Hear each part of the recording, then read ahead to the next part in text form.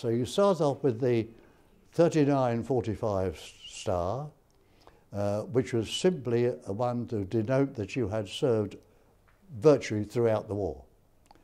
Uh, but then the next two are my favourites. One is the Africa Star with an Eighth Army clasp.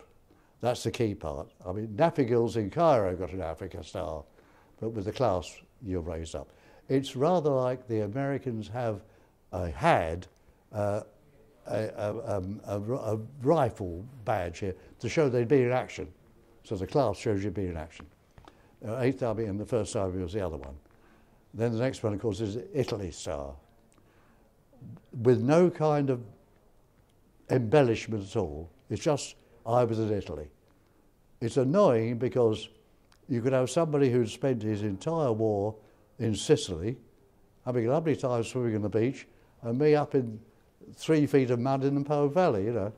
Still, it doesn't matter. It's, it's only a, a, a niggle. Um, what have I got next? Oh, Defence Medal or War Medal. Well, Defence Medal showed that I served something here in England, like the Whitehall Defences thing. Uh, obviously, there are people in the hospital now who have nothing else. They, they, they weren't anywhere in the war apart from here. And the, the next, we call it the War Medal, but it was a victory medal, that's all. I mean, if you're alive, you probably had you a victory.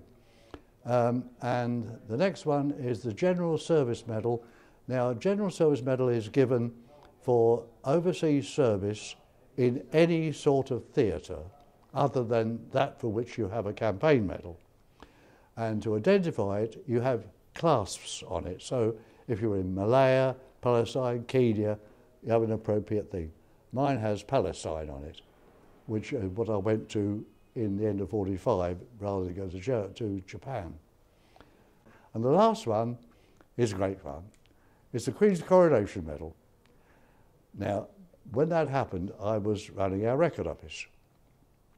We only had, unlike previous um, uh, coronations and funerals, where they were given out literally with the rations, we only had 50. But I got one because I distributed them.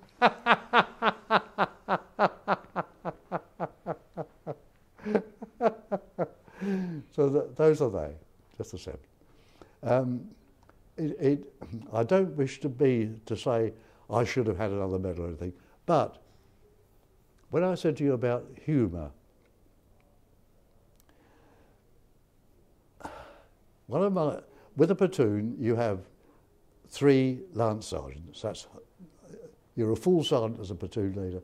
You have three lance sergeants, and one of my one of mine was a great, an inseparable pal of mine. His name was Alfred Moore, but he was always known as Pony, for no reason I have no idea. Well, I'd, in, uh, again up in Camino, I'd lost my platoon officer, he'd been wounded. So I had the platoon to look after. And we'd lost half a dozen chaps anyway. I'm frozen stiff, fed up, worried. What's going to happen to the boys? How are we going to do? And we were getting harassed by a Spandau. Now that's the German mach light machine gun that fires 16 rounds a second. Rup, rup, frightening. We're getting harassed by this thing from over there. Come on, Paddy, I said, we're going to knock this damn thing out. Oh, God, he says. and off we went. On the way over, we got sniped at from over here. We saw the move. This is how close it was. I saw a movement, the snipe at it. And we ducked down behind a rock. And my nerve went. Which is the worst possible thing to have happened. Oh, oh, well, it was my responsibility. My nerve's gone. And Pony knew exactly what to do.